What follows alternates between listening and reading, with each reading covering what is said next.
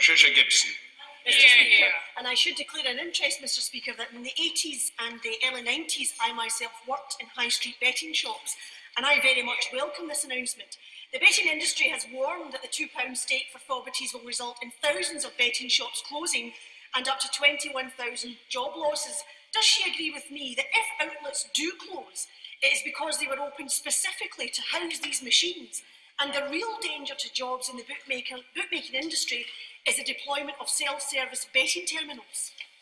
Well, Um, Mr. Minister. Mr. Speaker, um, I think it's only fair that I do inform the House that we actually received a significant number of people fr- who work in um, bookmakers calling for us to make these state reductions or ban them altogether because what they've seen is a change in customer behaviour when they go into the betting shops, and actually many of their addictions to these machines has led to violent and intimidating behaviours towards members of staff, sometimes in bookmakers that are, are single staff. Um, and so, while we do recognise that there may well be an impact on jobs, uh, we will work closely with colleagues um, across government within our partner uh, organisations to try and make sure that we support uh, members of staff. Uh, but we are seeing a shift in the way that uh, gambling is being done anyway, and there's been significant consolidation uh, within the industry. Um, so this is an industry that's changing, uh, regardless of today's announcement. Uh, but we want to make sure that we support safety of staff.